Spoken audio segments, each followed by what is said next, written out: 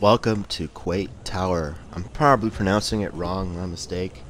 I don't know too much of history about this monument in San Francisco. I just know it's there. I've never been inside it for being a native Californian, but finally got a chance to go in. Entry fee is about $10 um, for adults. I think it's 7 for senior, and I believe it's 4 for children. At the time of recording this of 2023, the elevator's not working, so you ended up have to taking the stairs. So here I am, um, floor 11. You can see outside. You can actually get off, um, get out there, but they have that closed, unknown reasons. And floors one through five, they have murals all over inside the tower, which is really nice, really cool, hand-painted murals inside the inside the tower. But yeah, really cool, something to do. Um, it's about four, five miles away from Pier 39, so something to do. Um, I ended up parking two in a two-hour parking area, um, not too far away from the tower. Yeah, here's inside the tower. Doing Quate Tower with a mask on.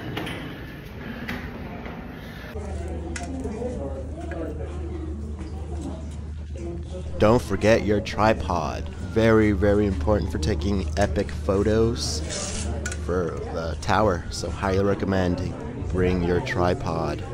Um, I don't know how long they're gonna have you, or they're gonna have people bring their tripods into Quate Tower, but it makes for, they make for excellent photos for outside photos. So highly recommend bringing your your tripod here on this picture scene. I used a tripod, so much easier to oh, use yeah, than having I'm taking a video. Um, someone well, try to get this angle. The Quate Tower. I highly recommend bringing a tripod with monuments like Quate. this. Quate. Quate. Quate. Quate. Quate Tower. All right, there we go. Inside Quate Tower. Some of the views. This is outside the tower. I really hope you guys enjoy. Comment, like, and subscribe. Um, that really means a lot to me when you guys watch the videos. It actually motivates me to do more videos. But yeah, there's Quate Tower and a little souvenir here I got.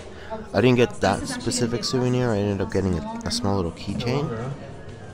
That's six dollars, which I have no idea where I'm gonna put it. But it's something to do in San Francisco. Thanks for watching.